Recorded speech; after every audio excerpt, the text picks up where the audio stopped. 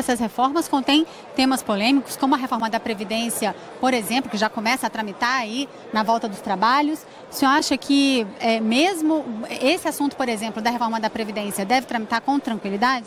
Olha, acho que tranquilidade é que nessa casa projetos como esse não, nunca tem, mas é claro que há, há hoje uma maturidade, nós precisamos fazer é, com que isso seja mais concreta ainda essa maturidade, que a reforma da Previdência é extremamente necessária ao país. Claro, é, dentro de uma discussão que nós iremos fazer aqui na casa, é, numa comissão especial, depois aqui no plenário, para acertarmos é, alguns pontos que possam ter discordâncias maiores, mas que o ponto final é, sem dúvida alguma, buscar uma equivalência da, da, da Previdência e um futuro para aqueles que dependem dessa Previdência. Porque da, da forma que caminha, a insolvência da Previdência ela está muito perto. E nós não podemos deixar que isso aconteça.